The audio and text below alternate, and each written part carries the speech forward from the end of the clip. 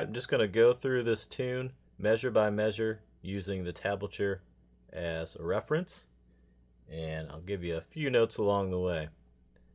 Measure 1 should look and sound like this.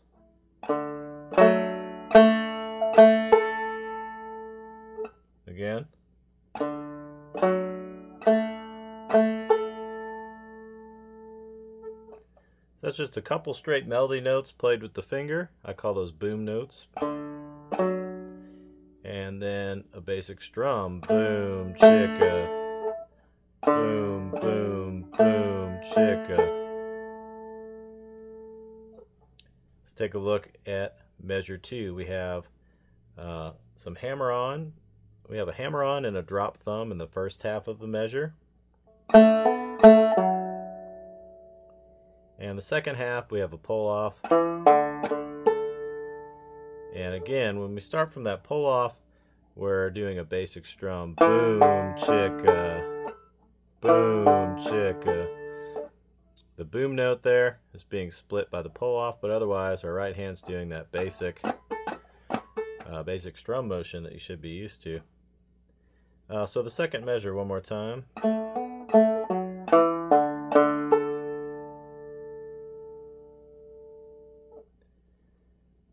Measure on this first line, our melody notes up here on the fifth fret on the fourth string.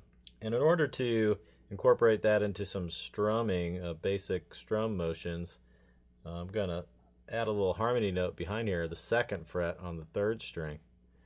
Uh, I know it's a little difficult to see when I'm actually playing because I have these ancillary fingers kind of hanging in the way. But these are the two two fingers that are doing the work here. And so the second fret up here again is just to catch some harmony notes after we play the melody note on the fifth string, fifth fret. Then we want to add that little strum in. That's just a nice little harmony note. Then we move to the fourth fret on the fourth string. And our right hand does the same thing. So again, at this point, I just have the fourth fret fretted. Uh, let's play that third measure for you in its entirety.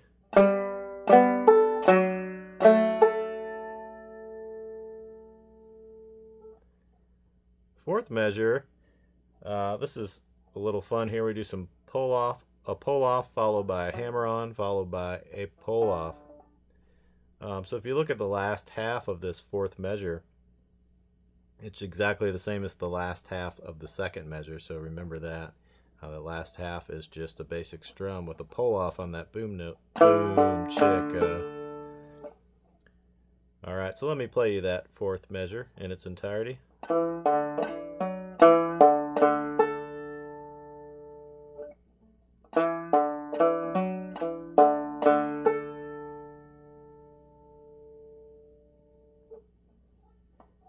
So you should you could hear the whole first line of the tab.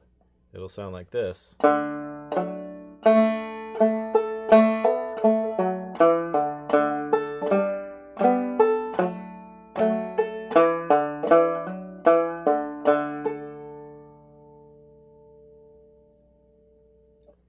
Let's look at the second line, the second half of the A part.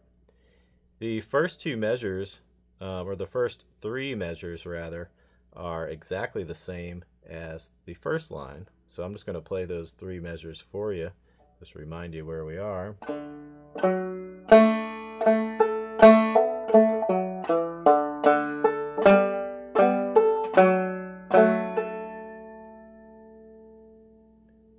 And then the final measure of the second line, the final measure of the A part, starts out the same as, as the uh, fourth measure of the tune, but we resolve it to a basic strum at the end. So here's the fourth and final measure of the first part of the tune.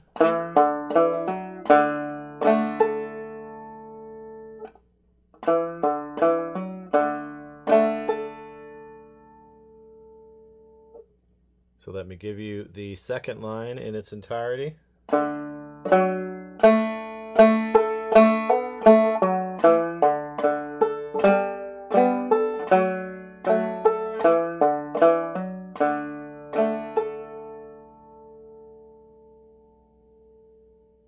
All right, let's look at the B part. We'll start on the first measure of the third line of the tab. So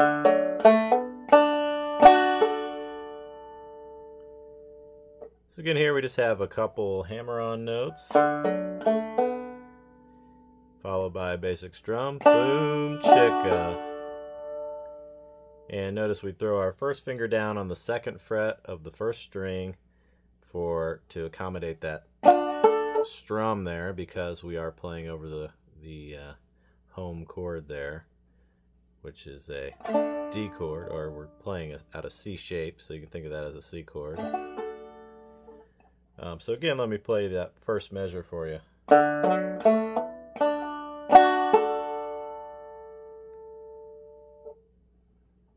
Second measure of the third line.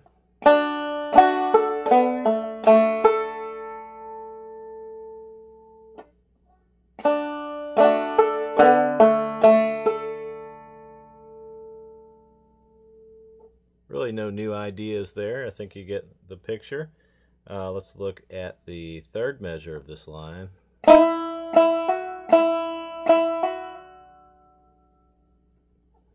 Here I'm sliding in to the second fret of the second string. I'm also letting the first string ring open. So uh, they're the same note, but when you let that open string ring against the note that we're sliding into, it creates a nice banjo-y effect. Um, otherwise, these are all just what I call boom notes. We're just using our finger. We're not dropping the thumb in here for anything on this whole measure.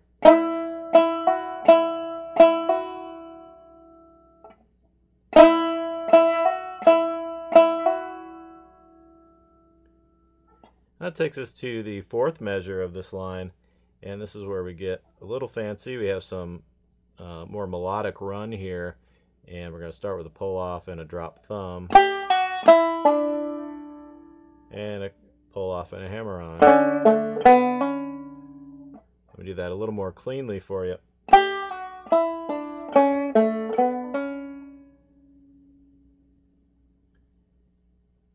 Now that takes us into the final line of the tab and you're going to see some familiar ideas here similar to what we were doing in the previous parts. Um, here is the first measure of the fourth line.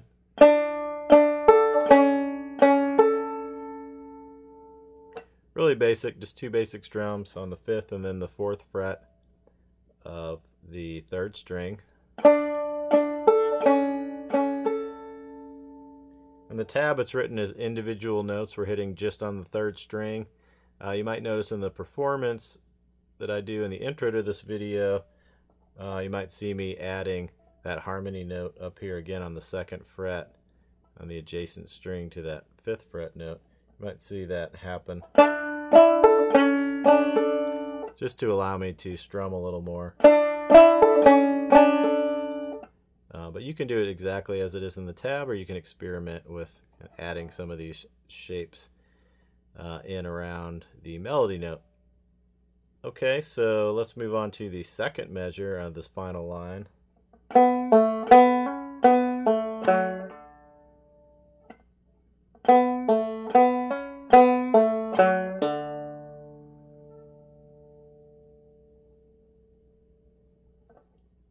Nothing too new there. So let's look at the final two measures. These are exactly the same as the final two measures of the second line.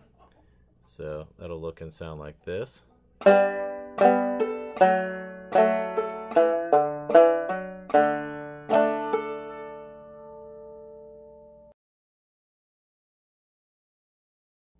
Two, three, four.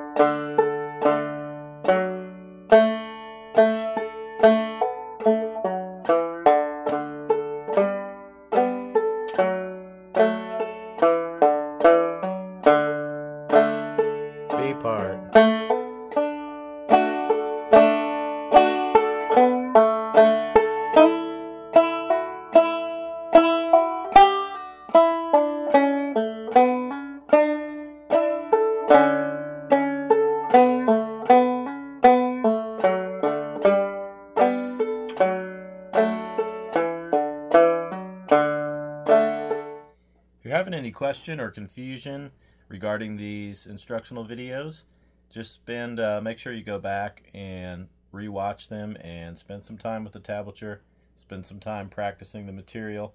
And then if you're still having struggles, send me an email at ryan at playbetterbanjo.com. I'm always up for having a conversation about banjos or uh, just helping you helping to answer any questions you might have or any struggles you might be having with the lessons or with playing clawhammer banjo in general. So don't be shy. Send me an email and I'll get back to you as soon as I can and hopefully with some helpful information.